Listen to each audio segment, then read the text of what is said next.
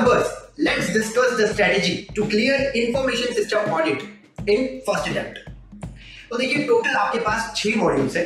Six modules में से एक मॉड्यूल आपको एक्स्ट्रा पढ़नी पड़ेगी जो कि है ई लर्निंग ई लर्निंग की मॉड्यूल को हमने नाम दिया है मॉड्यूल ज़ीरो तो इन ऑल मॉड्यूल ज़ीरो से लेकर मॉड्यूल सिक्स आपके पास टोटल यहाँ पे सेवन मॉड्यूल्स आपको पढ़नी अब इन सेवन मॉड्यूल्स को आपको कैसे पढ़ना है वो हम थोड़ा डिस्कस कर लेते हैं। तो देखिए सबसे पहले आपको चालू करना है मॉड्यूल ज़ीरो से। मॉड्यूल ज़ीरो है ई लर्निंग के ऊपर। तो यहाँ पे आप बेसिक टेक्नोलॉजी आप सीखेंगे।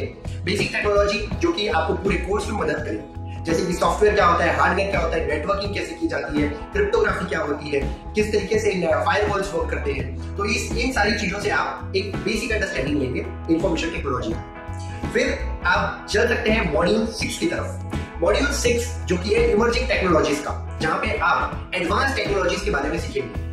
जिसमें कि artificial intelligence blockchain cloud computing data analytics robotics internet of things इन सारे कंसेप्ट को आप इन डेप्थ कवर करेंगे इन सारे टेक्नोलॉजीज़ को सीखने के बाद आप आगे बढ़ सकते हैं आपके मॉड्यूल फोर की तरफ़। मॉड्यूल फोर में आपको इंफॉर्मेशन सिस्टम्स किस तरीके से काम करते हैं, उसके लिए एक ऑर्गेनाइजेशन जो आईटी ऑर्गेनाइजेशन रहती है आईटी डिपार्टमेंट रहता है, वो किस तरीके से काम करता है, आपको इसकी कुछ जानकारी मिलेगी फिर इनकी जानकारी लेने के बाद आप बढ़ सकते हैं मॉड्यूल थ्री की तरफ़। मॉड्यूल थ्री में कैसे एस सी प्रोसेस की मदद लेकर एक सॉफ्टवेयर को, एक एप्लीकेशन को डेवलप किया जाता है, किस तरीके से उनको प्रोजेक्ट को मैनेज किया जाता है, ये सारी चीज़ों को आपको सीखने मिलेगी। मॉड्यूल थ्री में। मॉड्यूल थ्री के बाद आप आगे बढ़ सकते हैं मॉड्यूल फाइव की तरफ़। मॉड्यूल फाइव में आपको इस, इन जो सिस्टम ये जो तैयार हो रहा है एप्लीकेशन कंट्रोल का, उसमें कैसे कैसे कंट्रोल्स लगाए जाने चाहिए।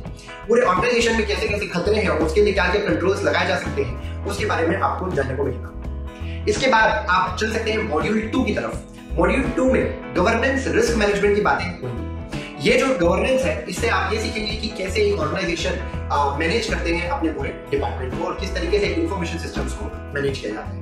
और लास्टली बढ़ेंगे मॉड्यूल वन की तरफ़। मॉड्यूल वन में आप इंफॉर्मेशन सिस्टम ऑडिट का एक पूरा प्रोसेस सीखेंगे कि किस तरीके से आपको ये पूरा ऑडिट करना है। तो ये रहेगा पूरा आपका कोर्स इस कोर्स में आपको टोटल समय लगने वाले हैं thirty nine hours thirty nine hours का मेरा लेक्चर है। आपको जब जैसे ही आप परचेस करेंगे, आपको परचेस करने के लिए जाना है प्रो खाता डॉट कॉम पे।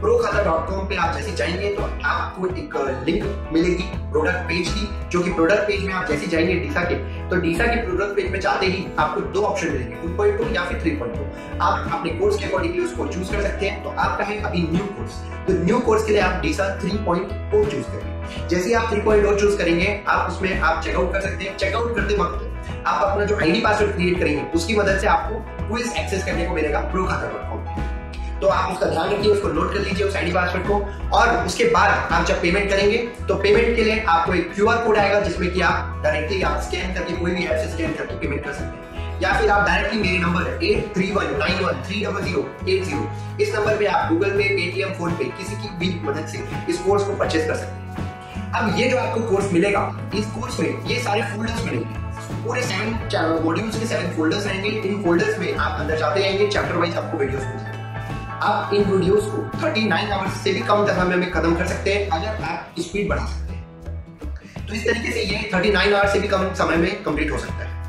तो ये तो था कि कैसे आपको ये पूरा कोर्स कंप्लीट करना है, और इस कोर्स को आप जब ये पूरे लेक्चर्स देख के कंप्लीट हो जाएँगे तो आपके मॉड्यूल्स की एक एक लाइन के साथ आपका पूरा कोर्स कंप्लीट हो जाएगा।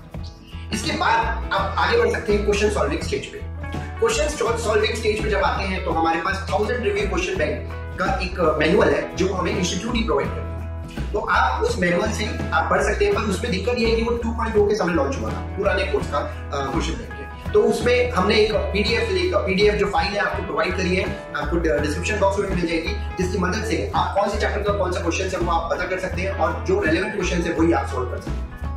तो इन थाउज़ेंड क्वेश्चन का ये जो क्वेश्चन बैंक हो गया, इसके बाद आपके पास जो बुक के पीछे के क्वेश्चन हो गए, कुछ ढाई सौ, तीन सौ क्वेश्चन आपको वहाँ मिल जाएँगे जो बुक के पीछे टेन टू ट्वेल्व क्वेश्चन रहते हैं हर चैप्टर के बाद। तो वो कवर कर सकते हैं। और इसके बाद कुछ इंपॉर्टेंट क्वेश्चन हमारी website pro Khata dot com पे अपलोडेड है। तो आप वहाँ से कुल मिला के सेवन हंड्रेड क्वेश्चन वहाँ पे आपको मिल जाएँगे। ये हमने शॉर्टलिस्ट करे हैं सीसा के क्वेश्चन बैंक से और जो कि आपको इस एग्ज़ाम में काम आने वाले हैं। इसको एक्सेस करने के लिए आपको जाना है प्रो खाता डॉट कॉम पे। प्रो खाता डॉट कॉम पे आप जैसे लॉग इन करेंगे लॉग इन करने के बाद आपको डैशबोर्ड मिलेगा। डैशबोर्ड में आप जाइए एंड्रॉइड कोर्सेज एंड्रॉइड कोर्सेज में जाते ही आपको अपना कोर्स परचेज किया हुआ दिख जाएगा। वहाँ पे आप क्लिक करिए स्टार्ट कोर्स पे और स्टार्ट कोर्स पे करते ही आपका एक कोर्स पेज ओपन होगा। उसके बाद आप वापस से स्टार्ट कोर्स पे क्लिक करेंगे तो आपका ये जो ओवरऑल कोर्स है, वो स्टार्ट हो जाएगा। उसके अंदर आपको नाइन से सारे क्विज दिख जाएँगे। अब ये वन से लेकर सेवेंटी सेवेंटी क्विज बने हुए हैं। हर क्विज का समय दिया गया है दस मिनट का। दस मिनट में दस क्वेश्चन आपको सॉल्व करने हैं इससे आपका टाइम मैनेजमेंट भी सुधरेगा।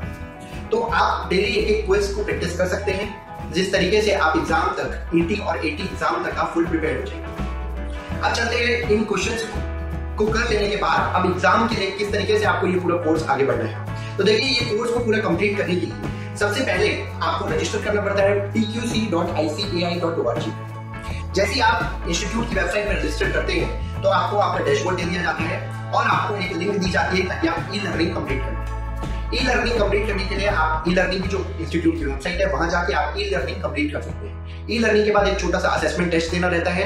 असेसमेंट टेस्ट जैसे देते हैं तो आप प्रोफेशनल ट्रेनिंग के लिए एलिजिबल हो तो ये ये एक छोटा सा प्रोसेस है जो आपको इनिशियली स्टार्ट करना पड़ता है। तो ये स्टार्ट प्रोसेस के लिए आप हमारे लेक्चर्स के थ्रू ई लर्निंग को कंप्लीट कर सकते हैं इन डेप्थ और आप ये असेसमेंट टेस्ट दे सकते हैं।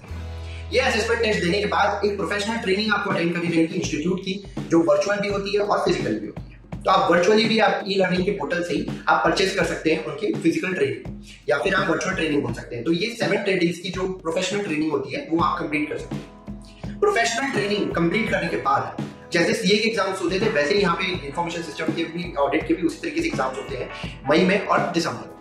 तो आप मई के समय, जैसे एक महीने पहले ईटी होता है, जो कहलाता है एलिजिबिलिटी टेस्ट तो ये एक प्रोफेशनल ट्रेनिंग के बाद ही आपका पॉसिबल है कि आप इसको दे सकते हैं। तो पहले आपको ईटी देना है और ईटी देने के बाद आपको एटी देना है असेसमेंट टेस्ट ये रहेगा आपका फाइनल एग्ज़ाम तो इस तरीके से दो एग्ज़ाम आपको क्लियर करने हैं और आप एक ही सिक्स मंथ्स के अंदर ये पूरे कोर्स को कंप्लीट कर सकते हैं। सिक्स मंथ्स के अंदर कैसे करेंगे? जैसे ही आप एनरोल करते हैं तुरंत आप अगर ई लर्निंग कर लेते हैं और प्रोफेशनल ट्रेनिंग कर लेते हैं तो आने वाले जो भी आपका अटेम्प्ट होगा, या मई या फिर दिसंबर तो उसके अकॉर्डिंगली जैसे अगर अभी दिसंबर है, दिसंबर में आप, नवंबर में आप ईटी दे सकते हैं एलिजिबिलिटी टेस्ट और दिसंबर में आप एटी दे सकते हैं असेसमेंट टेस्ट इस तरीके से आप इस पूरे कोर्स को सिक्स मंथ्स में कंप्लीट कर सकते हैं। और इसकी प्रिपरेशन को आप इवन वन वन वीक में कंप्लीट कर सकते हैं, हमारी लेक्चर्स की मदद से। तो ये है पूरा कंप्लीट कवरेज कि किस तरीके से आपको ये कोर्स कंप्लीट करना है। Thank you so much